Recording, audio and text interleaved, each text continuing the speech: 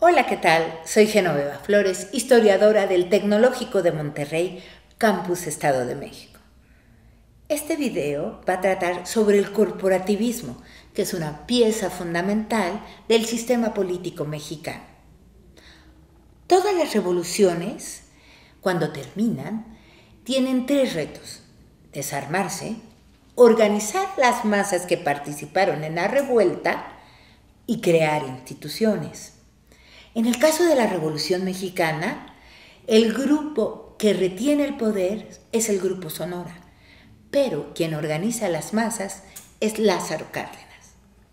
Lázaro Cárdenas había sido candidato a la presidencia por el caudillo militar Plutarco Elías Calles, como sus antecesores.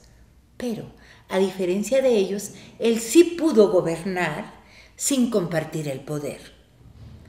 Los obreros aparecen en la Revolución Mexicana en 1912, sobre todo en los enclaves industriales, y su ideología era el anarquismo.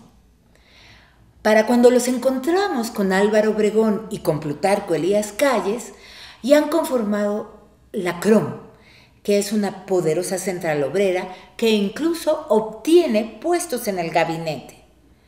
Así que cuando empieza el cardenismo, Lázaro Cárdenas necesitaba una base obrera diferente y organiza la CTM.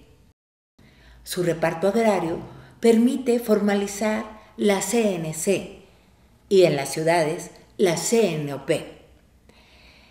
¿Por qué va a ser importante esta organización de masas? es la política central del cardenismo y le permite dos cosas fundamentales. Uno, expulsar a Plutarco Elías Calles y dos, nacionalizar el petróleo. La idea de Lázaro Cárdenas era que la combatividad de estas centrales permitiera presionar a patrones y a funcionarios de su propio régimen para mejorar las condiciones de las clases menos favorecidas. Todo esto sucedió durante el cardenismo, pero cuando la estrella política de Lázaro Cárdenas declina con su sexenio, también declina la combatividad. Ahora voy a explicar por qué razón esta organización opera ahora en contra de la democracia. Vamos a tomar el ejemplo del sindicato minero representado en esta pirámide. Todos conocemos las terribles condiciones en las que trabajan los mineros del carbón en Nueva Rosita, Coahuila. Ellos están en la base de la pirámide, mientras su líder vive como príncipe en Vancouver. ¿Cómo puede suceder esto?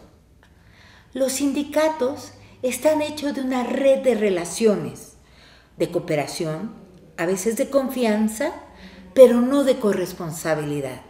Eso quiere decir que las cuotas de los sindicatos mineros permiten al líder vivir muy bien, pero en la base de la pirámide los obreros siguen en terribles, terribles condiciones. Ahora vamos a pensar en la central que los reúne, es decir, la CTM, la CTM está formada de cientos de sindicatos como el minero.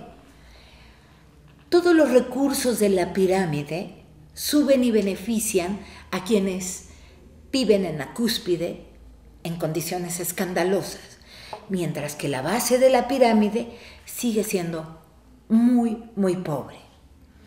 Pero esta estructura no solo tiene este efecto económico de disparidad social, también se ha hecho de ella un uso político durante las elecciones. ¿Cómo sucede esto? Tenemos las centrales obreras, tenemos a los campesinos y tenemos a los sectores urbanos, todos ellos dirigidos desde el vértice de la pirámide.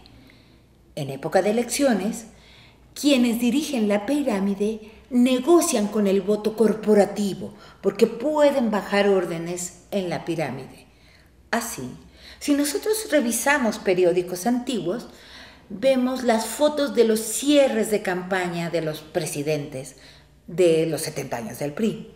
el zócalo está lleno de personas, pero esas personas no están ahí por su voluntad, están ahí por dos cosas fundamentales, por promesas de mejorar sus condiciones de vida, solo promesas, o por amenazas de perder sus plazas, por ejemplo. Así que no hay participación política porque están ahí a la fuerza.